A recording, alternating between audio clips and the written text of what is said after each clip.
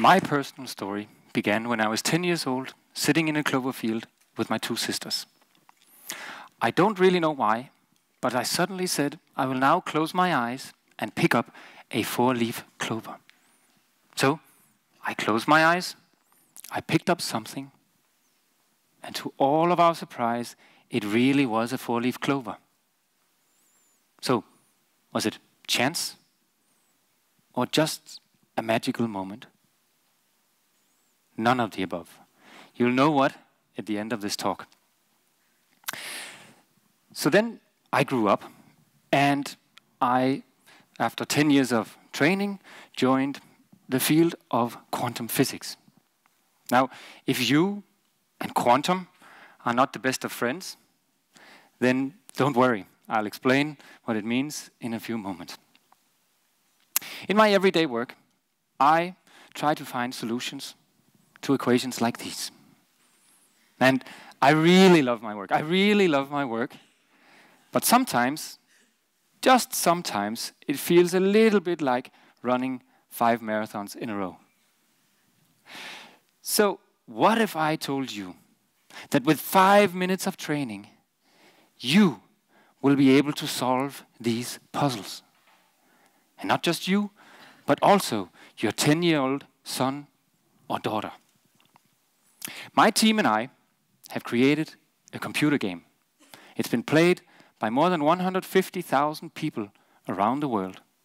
And they have clearly demonstrated that normal people can solve quantum research challenges better than physicists, and even better than supercomputers.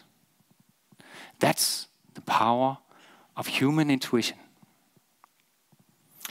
We're now ready to dive into the wonderful microscopic world of quantum objects. But first, what does this word quantum mean? It's related to quantity, and it's simply the smallest unit of something that you would like to count. So, being in Denmark, let's use Lego blocks as an example. If you zoom into all matter around us, you will eventually find that it consists of individual building blocks, the atoms. And just like Lego blocks come in different colors and sizes, so too are there many different atoms. There's nitrogen and hydrogen and oxygen, and those are the building blocks that put together in different ways makes all of matter around us. So an atom, how big is it? Take a single grain of sand. It contains more atoms than there are grains of sand on Earth. More atoms than there are grains of sand on Earth. It means that we can dive into the quantum world and have small, tiny objects and control them. But it's even more slippery than that because they're strangely behaving. Are you ready? Here begins your five minute journey into becoming a quantum physicist. But there's no learning without doing. So please now take out your cell phones, open the game of quantum moves, and press play. Try out the game a couple of times. The idea is that you have a liquid and you're supposed to transport it as quickly as possible into the target area. What you're really controlling when playing the games is a laser beam that picks up an individual atom and moves it into the target area. Hopefully, this is a fun game. We worked a lot to try to make it fun. I'm sorry to say that from now on, we get back to the equations for the rest of the talk. no. No, but we now continue the talk. In order to become quantum physicists, you also have to learn two quantum superpowers. The first one is called quantum superposition. And it's the ability of atoms to be in two different places at the same time. You can think of it as being able to sit here, listening to my talk, and at the same time snuggling up in bed, reading a good book. If you take a rock and throw it into a lake, it will create ripples or waves. An atom being in many different locations at the same time, is also described as this wave or liquid-like substance. So if you've ever tried to pick up water or hot coffee and be late and try to run, then you know that it's a difficult challenge to avoid spilling. I would have loved to illustrate this on stage, but unfortunately the TEDx organizers didn't think it was a good idea. So, fortunately, there's also another classical analogy to our games, and that's a child on a swing or a pendulum. And I actually brought a high-tech pendulum for you, my shoe. The task in the game is how should I move my hand in order to move the shoe from here to there without any oscillation in the end. I will run with it and I will try to shake it in order to take out all of the emotional energy. That's the challenge in the game that we ask you to solve. So that was quantum superpower number one. Quantum superpower number two is a strange quantum effect that is called quantum tunneling. It's the ability of atoms to tunnel through barriers. Translated to human scale, you can think of me running towards a wall, and instead of crashing into it, I appear on the other side unharmed. In the games, you will see quantum tunneling appearing as the liquid flowing uphill. So that's a very strange effect. Are you still not very comfortable with objects that can be in two places at the same time, with atoms that can walk through closed doors? Then you are in good company. Because two of the founding fathers of quantum physics, Einstein and Schrödinger, have both said that they regretted ever playing part in the development of this crazy theory. I'll now try to convince you that sometimes, for solving a complex task, you don't necessarily have to fully understand it, but simply intuitively accept it. When we play games, we are very often forced to accept strange rules or strange laws of physics. One example is a computer game called Portal. You walk around, solve challenges. One of them is to pick up a bag which is just beyond your reach, which is physically impossible, except that in this game, you have two portals at your disposal. You can place one on a side wall, and you can walk through it. And if you place the other one in the ceiling, then you fall out there, you grab the bag, and you do the seemingly impossible. In our games, the same thing happens. You have intuition from running with water. And then you mix it with the intuitive acceptance that in this particular game, water can flow uphill. So you form what we could call a quantum intuition, and you become a quantum physicist without even noticing it. People around the world have played the games just like you and become quantum physicists. When we looked at the data, we found something amazing.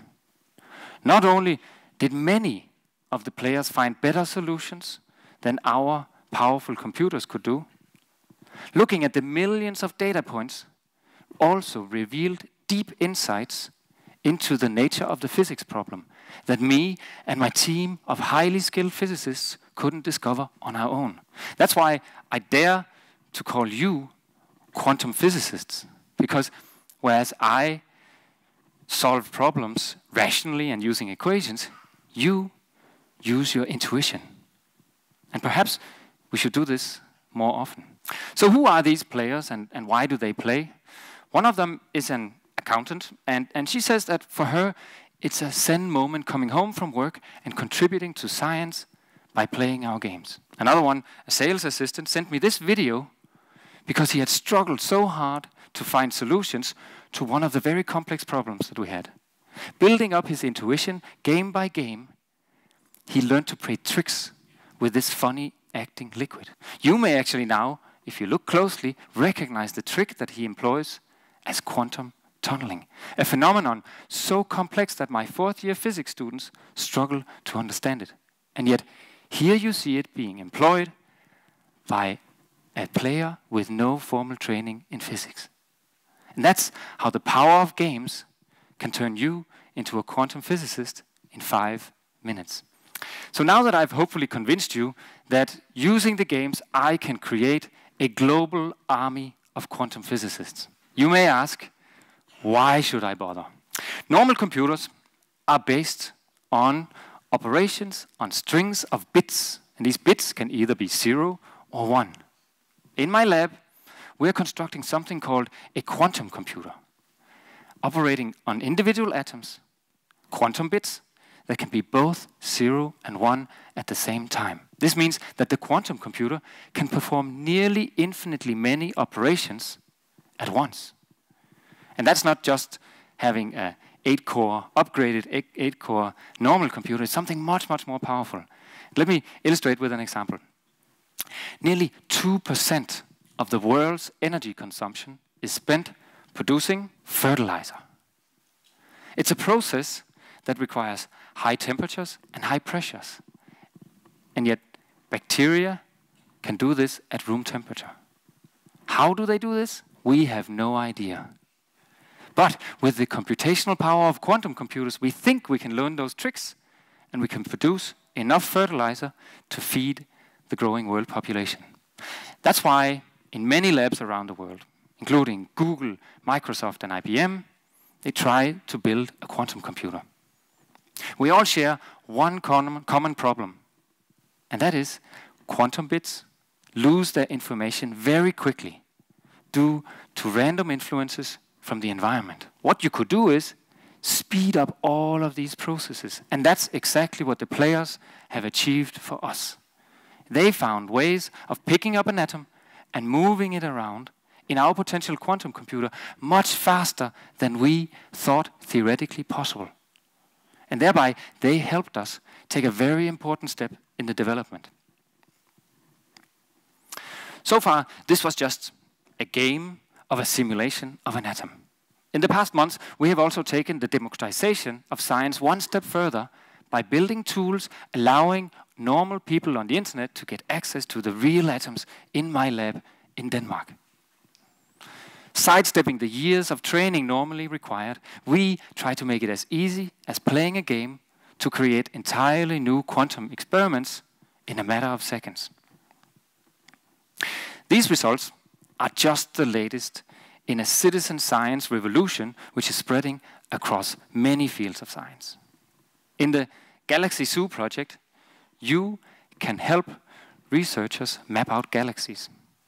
In the projects of Foldit and Eterna, you can help researchers search for cures for diseases like HIV, AIDS, and tuberculosis. The fact that you, with no formal training and very casual effort, can contribute to solving these very complex problems is the first of my two main points. The second one is about you and me as players and as human beings, and how we are different from computer algorithms. If you followed the tech news in recent years, then you may have heard that artificial intelligence algorithms have beaten expert players at games of Jeopardy and chess, and recently also Go. How come then we can use games to solve problems that not even the most powerful supercomputers can do? One reason that my researchers and I are fascinated with the human mind is our generic ability to solve problems despite often seemingly not having enough information at our disposal. We humans know that we don't have infinite storage capacity, right? So we filter hard. And then we make leaps of faith or intuition. On an individual level, if you play our, our games and you are very steady handed, then you will actually probably be led to try out very similar solutions and iteratively improving them. On the other hand, if you play our game on a shaky subway, it's doing like this, then you have to abandon that strategy and try out much more different solutions. And it's actually been established that for tasks of creativity and innovation, you actually have to have a period of crazy exploration. So to me, this is a striking example that sometimes being less skilled at something makes you more able to solve it.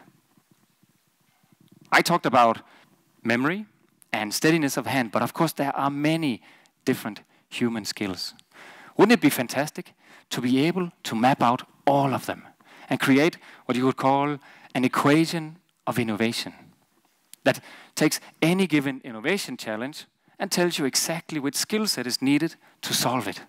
Of course, this is an extremely daunting task, but we believe that with hundreds of thousands of people solving these complex challenges, we will have enough data to unlock some of the subtle patterns underlying human innovation.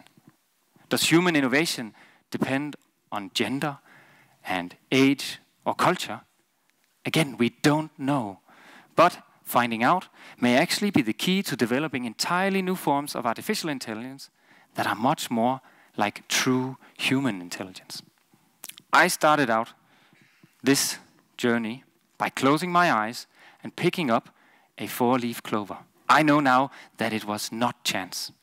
My mind knew that the four-leaf clover was there without me rationally being aware of it. In many ways, in my current research, I seem to be reliving this fantastic discovery. Because I started out this project gamifying quantum research challenges, a crazy project with no rational hope of being able to find anything useful. But I closed my eyes and trusted my instincts. And I hope in the future you will do the same. Thank you.